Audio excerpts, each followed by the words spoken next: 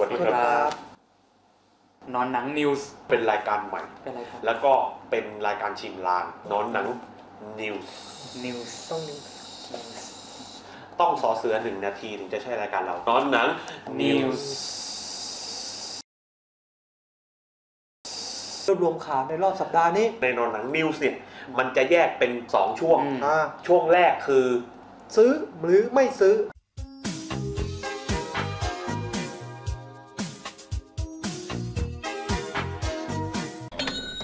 ข่าวแรกนะครับผมนะ Suicide Squad ออก DVD Blu-ray Extended Edition 13 นาทีที่เราไม่ได้ดูในโรงเนี่ยพี่รับกับพี่ยิมจะซื้อหรือว่าไม่ซื้อ พี่มองว่า 13 นาทีที่มาเนี่ย เป็นฉากเล็กๆ น้อยๆอะคำว่าซื้อของพี่เนี่ย จะทำให้หนังมันดูแบบเฮ้ยมากขึ้นไหมใช่มากขึ้นหรือเปล่าทำให้หนังมันดูมีความหมายในยยะบางอย่างมากขึ้นไหมสำหรับพี่ น่าจะไม่ขนาดนั้นอ่าขอให้ที่ไม่ซื้อแล้วกันเอ่อสำหรับพี่ไม่ซื้อนะคือจริง ๆ นะอืมดีซีเป็นไร เป็นอะไรเป็นอะไรทำไมต้องมีแบบมึงพิเศษ คัดพิเศษมาตลอดเวลามันยังไงอะคือ กูไม่ต้องดูในโรงใช่ไหมเออเอออะไรใช่เงี้ยใช่ใช่คือมีกูรอดูอย่างนี้ได้ไหมมีความคิดอีกอย่างหนึ่งถ้ามึงจะออกอย่างเงี้ยเออ ข้างหลังกูไม่ดูในโรงแล้วนะ เออกูรอดูเต็มอ่ารอดูอย่างนี้เต็มๆกว่าไงเออ เอาพิเศษกว่า เยอะกว่า extended กว่า เสื้อแบรนด์หนึ่งเออ มันขายเนี้ยราคาเนี้ยแพงมาก อ่า แต่มึงรู้อยู่แล้วทุกธันวามันจะลด เออ มึงจะรอซื้อตอนธันวาไหมล่ะ เออ รอ รอดูตอนลดดีกว่า เออ เออเฮ้ยเราจ่ายซื้อตอนลดจ่ายก่อนเราได้ดูก่อน แต่มึงซื้อธันวามึงได้ถูกอะเอาแต่เออ เอาดินี่เหมือนกัน แต่ถามจริงๆคือคาดหวังอะไรคนอยากดูอะไร ฉากโจ็อกเกอร์เยอะขึ้นอย่างเอานั้นมาไหม เอามาที่ทีดีกว่ามา เดี๋ยวเดี๋ยวยังไม่จบให้ให้ให้ให้ให้ใจเย็นอ่าเอาวางสรุปก่อนสรุปสรุปวางวางสผมรุปไม่สรุซื้ปอไม่ซื้อยังนะไม่ซื้อยังไม่ไม่ซื้อซื้อพี่ซื้อเพราะว่าอะไร เพราะว่ามึงมีตังค์กูมีตังค์เพราะมึงมีตังค์เพราะว่าเนี่ยนี่บ้านมีตังค์ไม่ใช่ซื้อทุกอย่างไอ้เชี่ยเอคืออสิบสามนาทีคิดว่าจะเพิ่มอะไรได้สักขนาดนั้นเพิ่มใช่วะจาเลตเข้าไปเพิ่มจาเลตที่พี่อยากดูน่ะก่อนหน้านี้ใจกูรักมากเลยแล้วถ้าเกิดมันมีฉากสลิปน็อตเยอะขึ้น 13 นาทีมันจะดูไหมเออสิบสามนาที เป็นซินนอนสักหกอะเออ กูโกรธกูรีแอคขัดแผ่นโชว์ อย่าลืมสลิปน็อตมันยังไม่ได้มีประวัติที่อะไรมากเลยนะเออมันอาจจะเพิ่มตรงที่เล่าประวัติก็ได้จริงๆเขามีให้สัมภาษณ์ด้วยเออไอ้อดัมอดัมบิชเนี่ยเออเออก็บอกว่าเนี่ยผมไปเรียนฝึกทำเงื่อนมาแล้วก็ผมพูดเล่นนี่ผมต้องไม่ต้องฝึกที่ทะเลาะกับเมียทะเลาะกับเมียมีปัญหามากโอ้โหคือในทีมเนี่ยคือในทีมเนี่ยในทีมเนี่ยต้องมีตัวผมอ๋อ ตัวผมเป็นตัวที่แบบคอยช่วยเหลืออะไรเป็นหนูรองยาไงคือถ้าไม่มีถ้าไม่มีมึงก็ไม่มีใครเป็นหนูรองยาแล้วสรุปซื้อไม่ซื้อซื้อครับ ซื้อบ้านมันมีตังค์โอเคจบมีตังค์เอาคจรับนจนไปข่าวต่อไปเลยครับผมอ่า Annabelle teaser trailer เพิ่งมาใหม่อ๋อคิดยังไงบ้าง Annabelle สองซื้อไหมอันนี้เบอร์สองอันนี้เบอร์สอง Annabelle สองอ่าภาคภาคแรกซื้อ คือกูยังไม่ซื้อภาคแรกเลยอะอ่า แล้วกูจะซื้อภาคสองทำไมอะไม่ได้ประทับใจภาคแรกอยู่แล้วอืมพื้นฐานมึงยังไม่ดีเลยมึงมาภาคสองอีกแล้วกูยังไม่ดีไม่มีอะไรเอออย่างน้อยเออสมมติเยันแม่เพิ่ม Daniel Day-Lewis เข้ามานี่โอ้โหอ่าเพิ่ม Leonardo DiCaprio มาโอ้เอ้ยผู้กำกับนี่อะไรอะ Alejandro มาโอ้มากำกับภาคสองอะกูดูแน่นอนนี่พูดเล่นล้อล้อเลียนเล่นล้อเลียนเล่นเออแต่จริง ๆ มันไม่มีอะไรให้เราอืมน่าดู แค่นั้นเองอืมเลยไม่ซื้อเขาอาจจะเพิ่มเขาอาจจะเอา cutting อันไหนมาใช้ก็ได้นะหรือว่าอาจจะเพิ่มฉากนิดน็อตก็ได้เป็นได้นะ เดี๋ยว Annabelle สองมา Annabelle อ๋อเอาพี่ท็อปซื้อแต่ละครละแล้วจังหวะมุกรู้เลยจังหวะมุกตัวเองไม่ได้ด้วยแต่แต่ดีเล่นไปแล้ว สิ่งที่กูเห็นคือโต๊ะกินข้าวเออแล้วก็มีผีมาบิดแบบมาบิดอะอืมเคยเห็นแบบพวกกังฟูยืดเส้นไหมอืม กรึ๊บกรึ๊บกรึ๊บกรึ๊บสักพักกูว่าขึ้นอย่างเงี้ยที่นี่เราก็ล่า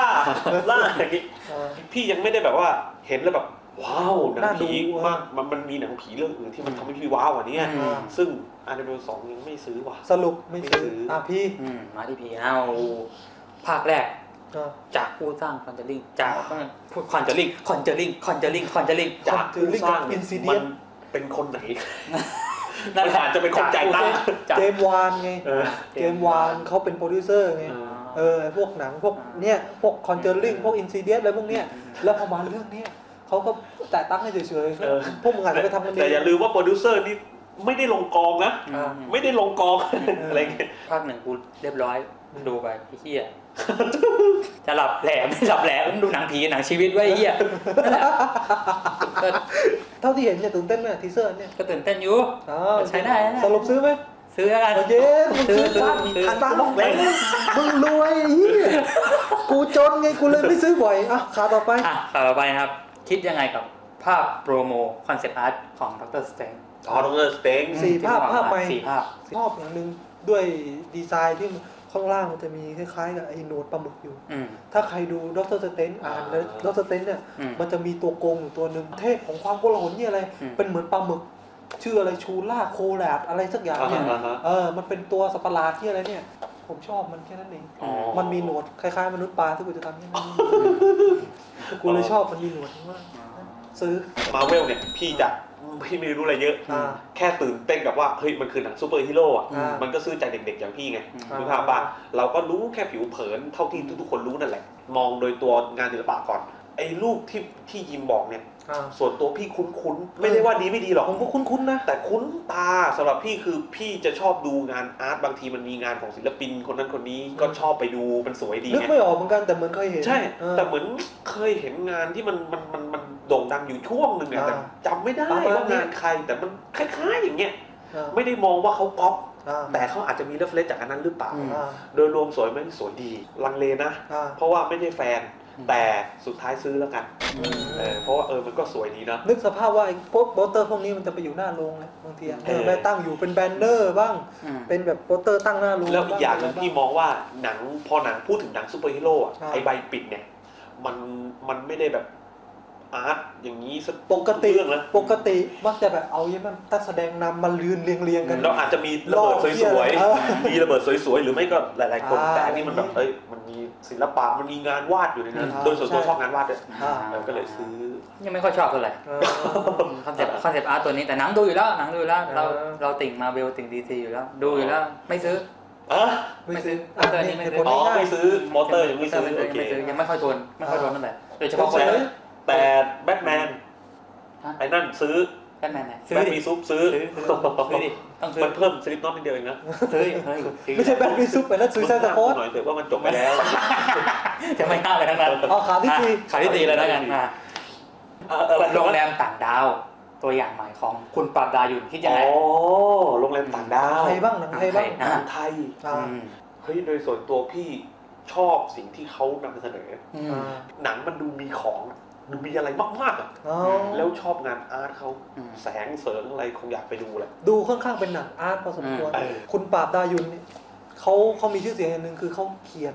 เขาเป็นนักเขียน อ่ารางวัลซีไรต์อะไรของเขาโอ้โหโอ้โหเออเออเออแน่นอนนะอืม skill การเขียนน่ะ เออแล้วมากำกับหนังเรื่องนี้มาทำหนังเรื่องนี้เอง มันจะมีตะกิดตะขวงใจผมอย่างเดียวคือ narrator ของเขาที่เขาพยายามเหมือนกับติดตลกนิดนึงบอกว่าอะไรว่าโรงแรมต่างดาว โรงแรมต่างดาว โรงแรมต่างดาว มันมัมันนจะเป็น มีอะไรในโรงแรมต่างดาว โรงแรมต่างดาว อารมณ์มันจะเหมือนกับขายโทนัสเจ้าของเดียวกับโทนัสโทนัสอะไรประมาณนั้นเราไม่มันจะเป็นคล้ายๆตลกติ๊ดๆหน่อยอะ เออ มันเป็นตลกติ๊ดๆนิดนึง แล้ววินำเสนอเนี่ยเขาจะแบบนิ่งๆ สังเกตดูภาพนิ่งอืมๆบรรยากาศนิ่งๆ เนื้อเรื่องเกี่ยวกับอะไรม่านรูด ที่มันน่าจะมีอะไรเกิดขึ้นนะ ซึ่งเราก็ไม่รู้ว่าอะไร แต่คงจะเป็นต่างดาว เขารู้สึกกูอ๋อชื่อเรื่องมันโรงแดงต่างดาวเนาะอืมมันก็คงจะเป็นต่างดาวมั้งเป็นเรื่องราวของโรงแรมม่านรูดที่จะรวมบุคคลผู้หญิงสองคนผู้ชายผู้ชายสองคนและและเสียเสียหหนึ่นึ่งงคคนนในโรงแรมต่างดาวโรงแรมต่างดาวโรงแรมต่างดาวกูดูแล้วกูแน่เลยซื้อ ซื้อส่โอวนเคตัวพี่ซื้อเหมือนกันส่วนหนัตัวงไทยนะแบบนี้นะอยากให้ฉายลงเยอะอืมๆบางทีผมว่ามันน่าสนใจดี คือเขาตั้งใจขายโรงแรมต่างดาวโรงแรมเขาต่าตั้งงใจดาวเขาเขาย้ำใหญ่เลยเออเขาย้ำให้กูแบบโอ้ยชอบชอบชอบเออชอบจริง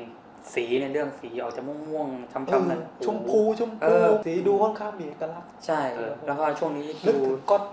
โอลิก็อดฟอกกี้อะไรก็เมื่อกี้มาเออคใช่ล้ายๆกันสงแต่ว่าไฟอันนู้นจะออกนีออน ใช่ อันนี้จะแบบชมพูชมพูทึมช่วงนี้ดูแน่นอนละ DX5 เออเปิดเส้นรับคดีปริศนาๆในเทรลเลอร์นี่อืมจะมีเห็นข้างๆนมนางเอกหรือใครผู้หญิงเนี่ยอืมสรุปคือแบบมันเป็นโสเภณีอะผู้หญิงอืมโสเภณีอะแล้วเห็นตอนถ่ายอาบน้ำนิดนึงอะไรอ๋อเงี้ยใช่ใช่เห็นข้างๆนมใช่อ๋อดูแบบ art artistic ใช่ อยากเป็นตากล้องมาก กูแบบน่าจะมี skill ตากล้องได้ถ่ายอะไรอย่างนี้บ้าง กูอยากเป็นผ้าห่มอะฮะอยากเป็นผ้าห่มมากที่ให้น้องเขานอนแสดงเป็นผ้าห่มเพราะว่าแสดงเป็นผ้าห่มนี่คือง่าย ๆ เลยคือเย็ดเวลาลมพัดก็ไม่ใช่ผ้าห่มธรรมดาเนี่ยไอ้เหี้ยเนี่ยผีผ้าห่มด้วยเย็ดตื่นด้วย ที่บอกดู The X-Files มาอ่าคือในเรื่องก็จะมีเหมือนกัน มีเป็นรูปแบบเกี่ยวกับการรีเสิร์ชพวกเว็บโออะไรเงี้ยอ๋อเหมือนกันในเรื่องเลยอ่าเลยชอบตอนเนี้ยเลยอินกับอิ มนนุษย์ต่างดาวมนุษย์ต่างดาวใช่โรงแรมต่างดาวโรงแรมต่างดาวโรงแรมต่างดาวเดินไปบอกต้องแม่สามครั้งถึงจะเป็นโรงแรมต่างดาวของแท้โรงแรมต่างเอดาวอโรงแรมไปหาแม่บอกใช้แม่ดีใช้ทนโรงแรมต่างดาวโรงแรมต่างดาวติดปากไงเดินไปบอกแม่แม่อยู่ข้าวโรงแรมต่างดาวโรงแรมต่างดาวเวลาสมมติเช้านี้ตื่นตื่นไปโรงเรียนแม่ทานข้าวเจอแม่ไข่เจียวไม่สุกไข่เจียวไม่สุก ไข่เจียวไม่สุก ไข่เจียวไม่สุกพวกกูโดนตกตั้งแต่ไข่เจียวแรกเลมัยนเป็นการสะกดจิตเว้ยเหี้ยให้คนจำได้ชื่อนี้ชื่อนี้จำไว้อยู่ที่คนด้วย อ่าถ้าเขาไม่จำเขาตกจริงด้วย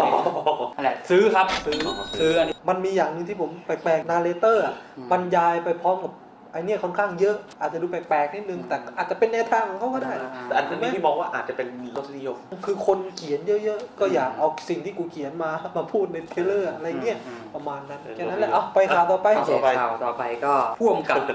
Taika Waititi กล่าวว่าอ่าโลโก้ Thor Ragnarok เนี่ยได้รับแรงบันดาลใจมาจากหนังไซไฟแฟนตาซียุค 70 80เจ็ดศูนย์แปดศูนย์ใช่ ซึ่งผมบอกโทนของทอภาคนี้ พี่ยิม พี่ท็อปดูแล้ว ซื้อหรือไม่ซื้อครับ อันนี้มันจะมีสิ่งที่เขาเถียงกันอยู่ว่า มึงนี่นี่โลโก้จริงเหรออืมคนเห็นโลโก้ครั้งแรกเนี่ยเอ้ยจริงเหรออืมเอางี้เหรออืมมันดูเหมือนกับเป็นของ fan art หรืออะไรสักอย่างอืมโลโก้มันดูออกสีตัวหนังสือสีฟ้าฟ้าๆใช่ดูไม่เข้ากับโทนที่เป็นแบบแฟนตาซีแฟนตาซีนอกโลกอะไรใช่นี่เลย แต่พี่พอจะนึก feel อยู่ นึกถึงแบบว่าหนังแฟนตาซีในช่วงนั้นน่ะอืม70 80เราไม่ได้ดูเยอะพี่บอกตรงไม่ได้เป็นคนที่ชอบแฟนตาซีเยอะ แต่พี่เห็นแล้วอารมณ์มันได้อืม70 80นะอืมซึ่งโอเคมัน make sense เออ เลยซื้อซื้อแค่นั้นเอง ไอภาพเนี้ยอ่ามัมันดูเวียดดี ดูแบบแปลกแปลกแปลกเลยแปลกไปเลยแบบฉีกไปเลยเออก่อนหน้านี้ก็เห็นไอ้โลโก้อันเก่าไหมจะเป็นตัวหนังสือน้ำตาลน้ำตาลทอแลกนาล็อกง่ายเออๆแล้วก็จะมีหินแตกเออมีมีหีแตกๆหินหินอ๋อหินหินใช่ๆมันจะเกี่ยวกับวันโลกแตกอะอ๋อทอแลกนาล็อกอะวันโลกแตก แล้วมันก็จะมีหินแตกๆแค่นั้นเองตัวสารมันเซเวนตี้แบบเอตี้ทีแบบใช่เฮ้ยเฟี้ยวอ่า นึกถึงดับพังเลยเป็นไอแบบยุคนั้นเลยซื้อดีกว่าอ่าซื้อเลยนะครับถูกใจมาก เห็นแวบแรกเนี่ยอ่าเฮ้ยนี่คือตะกี้คุยกันอยู่พี่ทัพบอกเฮ้ยอะไรวะยังไงของมึงวะเอออืมแต่พอรู้ว่าเขาต้องการให้มันอยู่ในยุค 60 70 มันได้อยู่ถ้าเขาอ่าต้องการอย่างนั้นอืมแต่มันใช้ค่อนข้างยากอ่านึกภาพปะอืมเป็นเป็นงานเป็นงานพี่มองเป็นงานศิลปะอะอืมเออที่ถ้าสมมติจะไปอยู่บนโปสเตอร์หรือจะไปอยู่อะไรเงี้ย ต้องต้องต้องอยากเห็น trailer หรืออยากเห็น mood ของมันอะเอออยากเห็นใช่อยากเห็น trailer ใช่ตัวแรกใช่ใช่ นึกสภาพว่าเรานึกนึกยากเหมือนกันนะ ทอเป็นหนังไซไฟแฟนตาซียุค 70 80อ่า ใช่โอ้โหเป็นอะไรที่ค่อนข้างท้าทายอืมแต่ว่าเขาทำได้นะ เหมือนในอะไรว่า Winter Soldier เห็นไหมอ่าทำเป็นใช่ใช่ใช่ สปายยุค อ๋อเออ80แปดศูนย์เออเป็นหนังสปายนะ ใช่ แล้วก็ทำได้จริง อืม ถามว่าซื้อไม่ซื้อเนี่ย อืม พี่จะเป็นอารมณ์ว่าซื้อ เพื่อเอา trailer มาอ่าอ่าจะได้ตัดสินใจรอบต่อไป เออพี่ก็เลยบอกว่าซื้อ ซื้ออะ อันเนี้ยจะบอกว่าซื้ออืม เพราะว่าแค่เห็นตัวหนังสือแค่เนี้ยบอกเลยว่าในความคิดพี่มีอย่างเดียวว่า คือใช้ยากอ่า อืม ในระดับคนทำงานอะแต่ถ้าหนังอ่ามัมันทำถึงอ่า ที่คุณบอกว่าเฮ้ยให้มันจะมีกลิ่นอายุ 60 70 เนี่ยเจ็ดถ้าศูนมัย์แปดศูนย์70 80 เนี่ย อ่า ถ้ามันทำถึงอะอืม มันจะใช่เลยใช่ปิ๊งเลยใช่เงียบเลยอ่าแต่ถ้ามันไม่ถึงเนี่ยมันจะไม่ใช่ทันทีเลยใช่นึกภาพป่ะอ่าเออก็เลยซื้ออ่าเพื่อรอดูเทรลเลอร์ซื้อเลยตัวเห็นนี้คนดีเดี๋ยวรอดูสัปดาห์หน้ามีอะไรข่าวจริง ๆ มันมีมากกว่านี้นะฮะอืมเราเลือกอะไรที่อ่าเออโอเคนะน่าจะ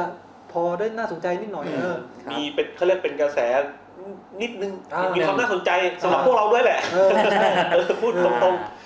น้อยไปมากไปก็บอกมา อ่ายังไงไปถ้าอยากจะให้แบบข่าวไหนก็เขียนข้างล่างได้เอเอออเออเออพี่รู้สึกยังไงครับพี่รู้สึกไงกับข่าวนี้อ่าอะไรอย่างนี้ใช่นะเขียนมานะ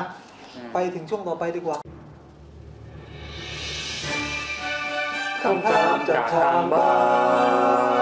ตึงตึงตึงตึงอ่าโอเคครับผมนั่นแหละอ่าช่วงสิบคำถามทางบ้าน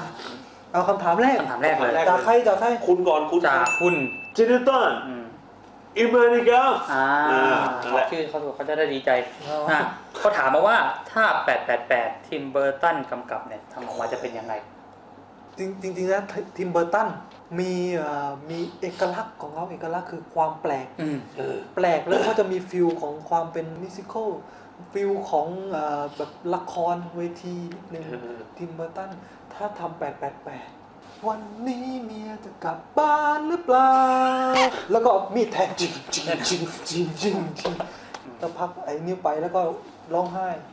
มันก็จะร้องไห้ไปแอบสักพักก็จะเราก็จะเห็นรถรถเมย์เนี่ยที่มีเขาเรียกว่าดีไซน์ค่อนข้างแปลกรถมันเมย์มันอาจจะมีมันอาจจะมีเครื่องเก่าๆที่ทะลักออกข้างนอกแล้วได้ยินเสียงลูกสูบตอนตอนสตาร์ทรถนะก่อนรถมันจะมีเสียง ลูกสูบรถอะทิมเบอร์ตันจะจะเขาจะติด dark ทิมเบอร์ตันจะติด dark นิดๆพี่ว่าค่อนข้างยากเขาคงเห็นสคริปต์ของแปดแปดไปแปลงไม่ทำไม่ทำ ทำไมไม่ทำเรื่องเวลาไม่ทำ ใช้ความพยายามจินตนาการนิดนึงเออ ถ้าเขาเอา เนี่ยกูจินตนาการได้แค่นี้ยไอ้เหี้ยเอาพี่ท็อปเป็นไง ส่วนตัวพี่คือ ก็นี่แหละก็เหมือนยิมเอออะพี่ไอ้เหี้ยอาจจะได้เห็นรถลอยได้อ๋อ รถแปลกๆลอยได้แล้วก็มีเพลงใช่คือแล้วก็อาจจะได้เห็นปุ่มหลังของแต่ละคน จะจะติดดักดักดราม่านิดนิดใช่ๆอ๋อนี่ป้าแบบนั้นเขาก็ดราม่าอยู่แล้วนะเอออ่าป้าอะป้า จริงเหรอ เออนี่ไม่ได้ดูไง แล้วไอ้ตัวตัวอะไรนะ พอทรงผมจะแปลกอาจจะแบบผมมันม้วนๆทรงผมจะแบบด้วยความเป็นเด็กแว้นใช่ไหมเงี้ยว เด็กแว้นของทีมเบอของร์ตันน่าทิมจะ เบอร์ตันมันต้องแบบโอ้โหมันต้องแบบดิมันอลังการเออ ดีซองดีไซน์อะไรใช่มันต้องแบบ เป็นเด็กแว้นใช่ไหมเออมันต้องแบบว่าให้ยาวอย่างนี้ ระม้วนนิดนึง เออ เพื่อเสนอสื่อถึงลูกสูบอ๋อ แทนลูกสูบที่มันอยู่ในหัวใจ เยอะชิบหายเลย ไอ้คนเหี้ดูย ไม่ได้คิดขนาดนั้นแม่ แล้วเวลาขับมันต้อง ช่วงนี้ทิมเบอร์ตันมีหนังเข้านี่ชื่มีอมิสเตอร์เกรนอ่าดูแล้วดูแล้วดูแล้วดูแล้วเหรอดูเป็นแล้วไงเฮ้ยสั้นๆสั้นจืดๆเอาจบเหมือนกูตอนเหมือนยิมเมื่อกี้เหมือนกันเลยอันที่สองนะครับ จากคุณอนาพัฒน์เพชรลันจวนนะครับผมนะพัทเพชรลันถามช่วยว่าพี่เจมส์เออหายไปไหนครับ ไปปลูกผมหรือเปล่าครับผมอ่า เออไปปลูกผมใช่ไปปลูกที่มันหายไปนานเนี่ย เพราะว่ามันมันต้องบินไปปลูกที่อเมริกา แล้วหมอคนเนี้ยมันต้องใช้เวลาที่คืจอองคือรากจองผมคิวรากผมไอ้เจมมันเสียอืมเออแล้วมันมีปัญหามากที่บ้านเขาดราม่ากันมากใช่ตอนนี้ที่บ้านคือคือ คือแม่มันร้องไห้เสียใจมากเฮ้ยเออรากผมไอ้เจมไม่ขึ้น ไม่คือด้วยความตรงเนี้ยเนี่ยรากผมเจมอเฮ้ยยู่ตรงนี้เลยนะปัจจุบันอยู่นี่แล้วนะอยู่ตรงนี้เลยปัจจุบันนะถึงนี่แล้วนะจริงไหมอะ จริงไม่รู้เลยคือแล้วที่บ้านเจมส์เนี่ยต้องบอกก่อนว่าที่บ้านเจมส์เนี่ยเป็นกษัตริย์เก่าต้องบอกก่อนอ่ามันจะมีประเทศอะไรไม่รู้มันมันล่มสลายไปแล้วในยุคอ่าโบราณอ่าแล้วมันสืบเชื้อสายมาอ่ามัมันก็ยังมีวัฒนธรรมเล็กอ่าๆที่เขาแบบว่าเออเฮ้ยเรื่องเรื่องเขาเรียกเรื่องภาพลักษณ์อะอืมเรื่องอะไรอย่างเงี้ยอืมมันก็สำคัญไงอืมเออคุณอยู่แถวอะไรอะไรวะ เป็นจุงเป็นจูอะไรอย่างอ๋เงี้อยใช่เปล่าถึงนี้แล้วนะเอแต่อว่าใช่เออแล้วมันต้องไปแล้วคือด้วยความที่ต้องให้สมฐานะไงอืมมันต้องบินไปปลูกที่อเมริกาอ่าต้องใช้หมอที่ดีที่สุด ใช่เอใช่อแล้วมันจองคิวค่อนข้างนานอ่าใช้เวลาเนี่ยเนี่ยตอนนี้ยังไปอยู่เออยังไปปลูกผมอยู่ยังไม่มา คือจองคิวอยู่ที่บ้านเนี่ยตอนเนี้ยคือห้ามออกสื่อใด ๆ ทั้งสิ้นมันมีปัญหามากนะพี่เออรู้ไหมว่าชีวิตมันใช้ชีวิตลำบากมาก ออกไปข้างนอกเนี่ยไม่ใส่หมวกไม่ได้เออ ไปเนี่ยคนรถชนหมดเลย เห็นแสงสะท้อนมาใช่ขับรถชนข้างทางโอ้ยชนรถคันข้างหน้าโอ้โหมันแบบลำบากอะแล้ววันนั้นมึงยากเชื่อไหมคือกูสงสารเพื่อนเนี่ยทำไมคือแบบ มันเดินข้ามถนนเว้ยอืมแล้วมันมีมอไซค์วินคนหนึ่งอะอืมไม่งขับผ่านกูยืนพอดีกับมอไซค์วินนั่นเลย แล้วคือแบบกูรู้เลยว่ามอไซค์วินคันนั้นรู้สึกยังไงอืมคือคือกูเห็นมอไซค์วินมัน แสงหน้าผากมันสะท้อนใส่ตาโอ้ย แล้วกูเดินกูยังแสบตาเลย อะแล้วมอไซค์วินมันสะท้อนสายตาแล้วแม่งล้มกับหน้ากูอะกูสงสารมอไซค์วินคันนั้นมากเลย นี่คือเรื่องจริงเนี่ยกูกูไม่กล้าเล่นบอก ไม่กล้าเล่นเล่นไปเลยคำถามที่สามแล้วอ่าสามอืมจากคุณโคโลซาเฮชอืมอ่าอ่าฉากที่ชมพู่อมควยแจ๊ดถ้าเป็นพี่ท็อปกับพี่ยิมจะยังไงครับอ หมายถึงให้กูเป็นใครกูเป็นชมให้เป็นพู่หรืแจ๊อคกูเป็เป็นนแจ๊คแจ๊เป็นแจ๊คเป็นแจ๊คเป็นแจ๊คอ๋อต้องเราต้องวิเคราะห์คำถามก่ออ่านอ่าใช่ฉากที่พี่ชมพู่อ่าอมโคยแจ๊สเนี่ยเขาเขียนว่าถ้าเป็นพี่แจ๊สเนี่ยทำยังไง กูพูดสองเลยสองสองมุมมองเลยอืมถ้าในฐานะคนทำเนี่ยกูจะขยี้พอมีกระแสเรื่องฉายไม่ได้ คนจะอยากดูว่าซีนที่ถูกตัดคืออะไรใครชอบสุดยอดแล้ว extended edition ใช่แล้วกูต้องอ่า แล้วกูจะทำแบบพิเศษเอามาขายเองเออแล้วฉากที่มีกูจะให้อมกันเห็นเห็นๆเลยเอ๊ะมึงทำหนังเอ็กดีกว่าพี่ท็อปแล้วเหี้ยจะถ่ายอินเสิร์ตเออตอนอมจะถ่ายอินเสิร์ตจะไม่ถ่ายโคยแจ๊สจะถ่ายโคยกูพี่อ๋อถ้ากูเป็นพี่แจ๊สอ๋อใช่ไหมไม่มีแจ๊สใช่ไหมถ้ากูเป็นพี่แจ๊สใช่ไหมทำไมพูดกูไปอแล้วย่างนี้เลยครับ คือบอกตามตรงเป็นคนที่กรอฉาก อมตลอดเวลาอืมไม่รู้เป็นอะไรไม่ชอบดู วันนั้นดูแล้วเออบอกตามตรงว่าโอเคมันนะมันมันมันมันมันได้อยู่นะก็เลยกดใหญ่กดใหญ่ประมาณนั้นอ่านะครับ ขอโทษพี่ชมพู่ด้วยนะฮะเป็นเป็นรายการตลกอย่าไปซีเรียสนะเหี้ยเผื่อเขาเปิดมาดูเหี้ยแต่เขาคงไม่ดูหรอกสัตว์คำถามที่สี่จากคุณ Sin of Suffering Thai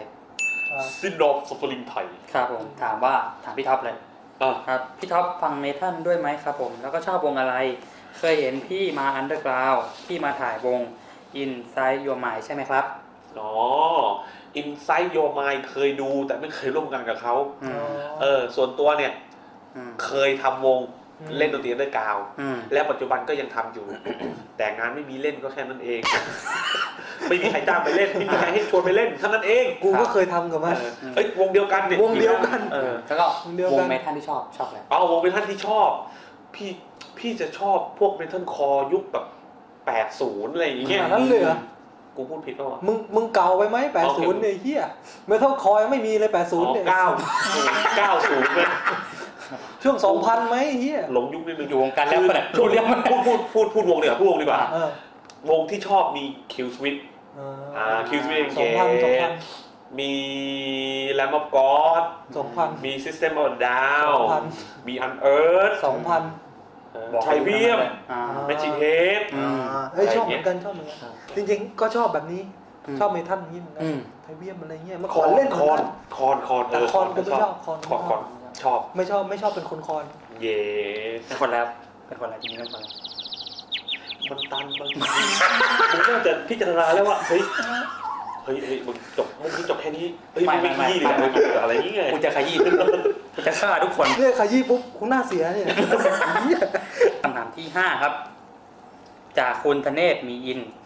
ชื่อเหมือนพ่อไอเจมส์มันคุณคุณพ่อไอเจมส์มันเนี่ยธเนศเนี่ยจริงเหรอเขาชื่อเออพ่อไอเจมส์ชื่อธเอาเนศจริงเหรอเอออ๋อคุณธเนศมีอินเกิดเอาสิครับอะเอาคครัรับบสวัสดีครับพ่อพี่เจนเนาะอ่าครับกูจะโดนด่านะพี่พี่ทำงานอะไรกันครับอ๋อพี่ท็อปก่อนได้ดีเลยกว่านะไม่มีงานทำครับไม่มาอ่าไม่มีงานทำนะครับอะพี่พี่เรียนอยู่ยังเรียนอยู่อ๋อกรุงเทพครับเอาขยายนิดขยายคือเป็นฟรีแลนซ์ครับอ๋อครับคือจะเป็นฟรีแลนซ์ รับหมดเลยกำกับผลิตถ่ายตัดอืมถือบูมอ่าถ้าถือพุ่งก็ถือหรอกคือทำทุกอย่างที่เขาให้กูไปทำอะอ่าพี่ไปให้นิตยสารเพย์บอยจริงไหมเนี่ยเพย์บอยจะมีแปลไทยนะ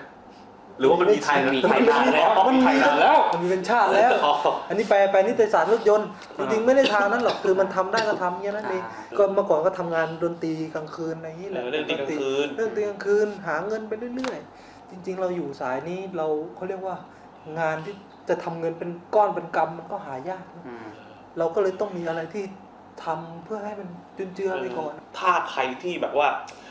รักแล้วมีความฝันอยากจะเป็นศิลปินอะพี่มองว่านั่นเป็นโชคชะตาที่ค่อนข้างใช่โหดร้ายอืมใช่เพราะว่าศิลปินเนี่ยในประเทศไทยนะพูดในประเทศไทยนะอืมเลี้ยงปากท้องไม่ได้กล้าพูดเลยยากต้องแยกปากท้องกับ งานตัวเองใช่ที่รักออกไปอ่าอืมปากท้องก็อีกอย่างงานที่รักก็อีกอย่างหนึ่งอย่างยิมก็แปลนะอ่าเอกสารแปลอยู่ออโต้คาร์ออโต้ออโต้คา คาร์ร์ โตขาดทีก็เรียนอยู่มอกรุงเทพครับทักก็ทักได้เจอก็เอทักอได้เดินทักมันนะอ่าเรียนปีไหนแล้วปีไหนทักได้ปีสี่แล้วอ่าปีสี่แล้วอ่าเดินมาทักได้ใกล้จะทายแล้วนี่ ใกล้จะใกล้ใกล้อีกอีกไม่นานอีกไม่นานอีกไม่ได้นานได้ข่าวว่าก่อน ก่อนหน้านี้ก็ถ่ายมารอบหนึ่งทายไปรอบนึงแล้วเข้าใหม่เย่เขาเรียกว่าเป็นแบบว่าเป็นแท็กติกในการไม่เรียใช่นไปตามหาความฝันเราต้องพูดให้มันดีอ่าพื้นเพของเราอะเรียน A b a c ก่อนอ๋อเรียนเราเรียน A b a c บ้านรวยเราเรียนบ้านรวยเราเรียนอ่าคอร์ส intensive ด้วยความที่กูไม่สนใจกูก็ไม่ไปเออแต่จ่ายไปแล้วนะเขาเรียกว่าไม่ได้ลำบากนึกออกปะมันไม่ได้ลำบาก แล้วเรียนเรื่อยๆ เหนื่อยก็พัก เอ๊ะเรียนเรื่อยๆเออเหนื่อยยังไงก็พักไงเออมกูพักสองปีเลย ตามหาความฝันนี่กูนอนอยู่บ้าน หมดไปแล้วเอาหมดแล้วหมดแล้วจะได้จัง ใครมีคำถามอะไรอีกเออเขียนเรื่องโพสต์มาโพสต์มา ส่งกันเข้ามาทางไปรษณีย์นะตอนนี้ส่งมาที่ปนตู้ปนอะไรตู้ตู้ปปนนหนึ่งหนึ่งศูนย์ศูนย์แปดอ่าใครอยากรู้อะไร ถามอะไรถามมา ใช่อยากทั้งข่าวทั้งคำถามอะพูดละหมดเลยข่าวก็ได้อยากรู้อะไรข่าว ก็เออบอกมาพี่ผมอยากพี่พูดถึงข่าวนี้หน่อยอ่าเฮ้ยพี่พี่ท็อปอ่าไหมก็เออถามมาไม่ไม่รู้จะตอนแรกก็แซวตัวเองแต่เขินไม่เอาดีกว่าเขาเล่นอะไรวะเขาเล่นกับเขาเล่นกับตัวเองเหมือนแบบนั่งเคลียร์ใครตัวเองแล้วสนุกอยู่คนเดียวอะ เคยมีความคิดว่าถ้ากูเป็นพิธีกรอยู่คนเดียวกูจะทำไงเออพอได้พอได้ได้พอได้มีสองบุคลิกเนี่ยแต่ว่าพูดเลยสวัสดีครับวันนี้รายการเนี่ยอ่าเข้าใจไหมฮะอ๋อโอเคเอ่อรายการนี้นะครับมีมีมีสองช่วง รู้ไหมฮะช่วงที่สองอะอ่านั่นแหละเออดูแล้วก็แชร์ให้เพื่อนดูถ้าชอบสนุกเฮฮาเอ็กซีฟเอนเตอร์เทนเมนต์ครับ ช่อง YouTube ยี่อะไรกด YouTube ซับตะกงแฟนซับสไครต์เอ็กซ์ซีเอนเตอร์เทนเมนต์ธีรพัฒน์กองรัฐพิสิทธิ์ของพัฒนาพงศ์ วงเพชรโพเพชรรายงาน